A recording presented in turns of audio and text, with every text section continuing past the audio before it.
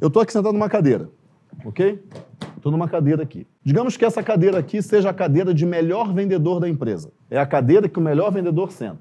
Tem uma outra cadeira ali, que é a cadeira da gestão. É a cadeira do gestor, ok? É a cadeira do gestor. Eu não estou sentado lá, porque eu estou sentado aqui, na cadeira de melhor vendedor da empresa. Aí o que, que eu faço? Eu contrato, eu vejo que não está dando, não está dando para eu vender, gerir, entregar, não está dando mais. Aí eu contrato alguém para sentar nessa cadeira. Aí eu levanto da cadeira e eu deixo essa outra pessoa sentada. Senta aí, amigo. Aí o cara senta. O cara performa? Ele performa quando ele senta aqui? O que acontece? Na experiência de vocês, ele performa igual a você? Não.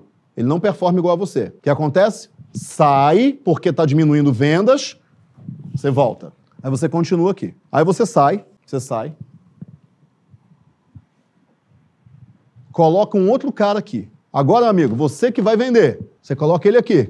Ele performa? Não, ele não performa igual a você. Aí você fala, sai porque a empresa está caindo vendas. Aí você assume de novo a cadeira. Aí chega uma hora que você desiste. Você fica aqui e acabou. Então o que está acontecendo? Você virou o processo. O processo comercial é você. O processo comercial é você, acabou. Você é o melhor vendedor da empresa. Você não pode sair. Porque se você sair, entra alguém aqui, o cara não performa. Quando você pega o WhatsApp, telefone, venda um a um, meu, não interessa, você vende. Porque você se doa naquela venda. Você explica todo o produto, você explica o serviço, você dá uma consultoria para o cara. Você não faz uma venda, você dá uma consultoria para ele. Qual a diferença entre vender e dar consultoria?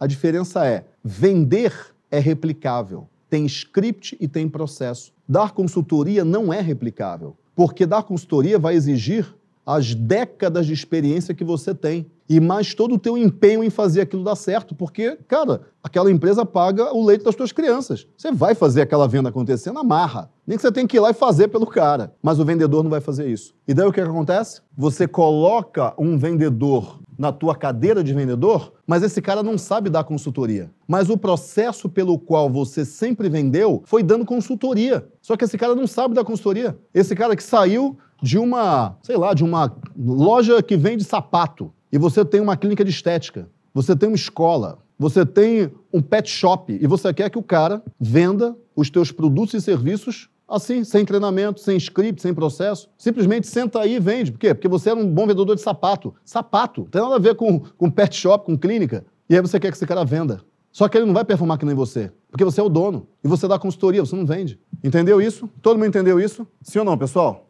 Entendeu isso? Enquanto você der consultoria ao invés de vender, você nunca vai criar um processo replicável. Então, quando você estiver lá, conversando, gravando áudio, mandando imagem, mandando vídeo, você, solução é processo e treinamento, exatamente, vou chegar lá. Você tem que se perguntar o seguinte, cara, eu estou vendendo ou estou dando consultoria? Se você estiver vendendo, é replicável. Se você.